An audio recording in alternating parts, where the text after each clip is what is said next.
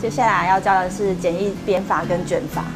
那一样先分左右两侧。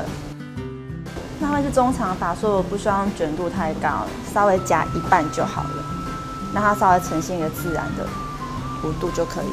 那卷的方向你可以一前一后，会比较自然。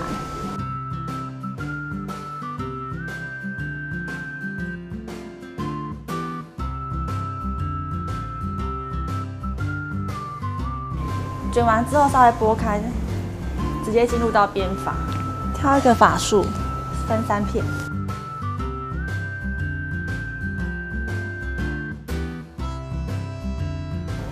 你在编的当中不需要抓太紧，松松的就可以了。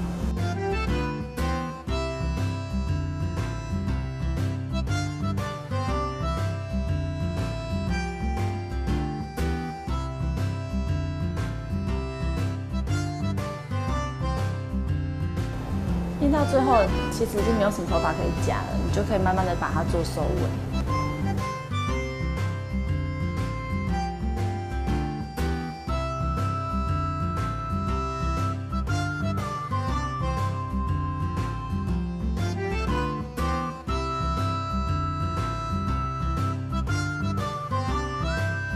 编完之后，稍微把它拉松，拉松不是拉乱哦，只是让它看起来不要这么实而已。